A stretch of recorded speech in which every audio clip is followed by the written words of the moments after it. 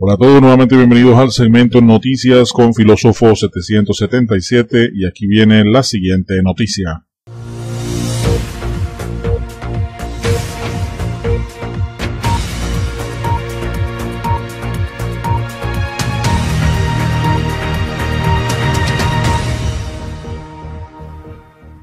Reportaron explosión e incendio en la subestación Caujarito de Corpuelec en Maracaibo. Así es, usuarios de las redes sociales reportaron explosión e incendio en la subestación eléctrica Caujarito de la Corporación Eléctrica Nacional Corpoelec, situada al lado de las instalaciones del metro de Maracaibo, dejó a gran parte del estado zuliano sin electricidad. Observen las imágenes.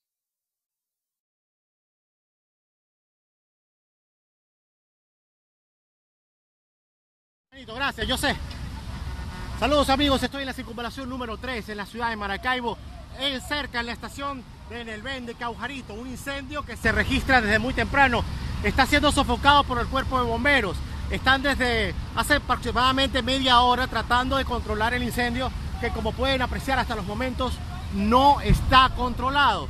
Se están registrando explosiones como pueden apreciar de las pipas con eh, combustible, específicamente aceite. Vamos a tratarnos de mover de esta área porque el calor es bastante fuerte para resguardar nuestra integridad física. Como pueden apreciar, el cuerpo de bomberos está en estos momentos intentando sofocar las llamas acá en la estación de Nelven, eh, Corpo Elec, acá en Caujarito. Esta es la información.